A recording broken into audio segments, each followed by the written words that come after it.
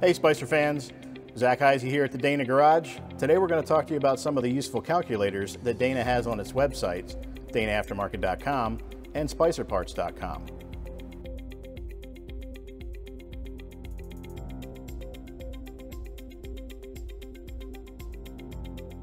The next calculator we're going to discuss allows you to convert cubic inches into uh, liters of displacement when we're talking about the size of an engine.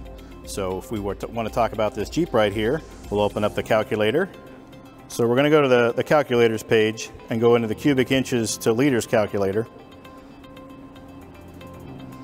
And we, we, we, know, the, we know the number of uh, liters that we have. We want to know how many cubic inches it is. So we have a 3.6 liter engine. It's about 220 cubic inches. But if we know the, or uh, if we have a 5.7 liter engine, we know that that's almost 350 cubic inches. But if we if it's the other way around, if we know the cubic inches, say if we have 360 inches of AMC Fury, we know that that's 5.9 liters.